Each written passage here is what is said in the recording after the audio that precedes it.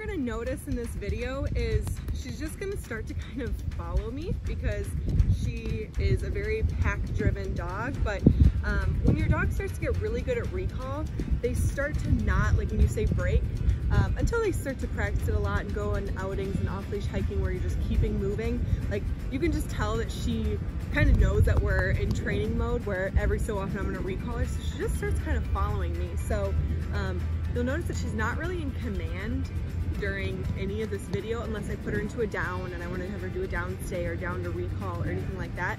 But otherwise, we're just kind of hanging out, enjoying the weather. Um, if anything comes about that she's interested in, being next to a field and stuff like that, if there's squirrels or rabbits or bunnies, um, just gonna recall her off of it. Got a long line on for safety if I need to grab that, but pretty confident that um, she would she would stick by or at least recall off of that But yeah, so you'll probably notice she just kind of hangs around because she's like, she's just a very, she's a dog that likes to be by her people. Um, she's not flighty by any means. Um, at least she hasn't been with me now that she understands what recall is. Um, but it never hurts to tighten all of this type of stuff up.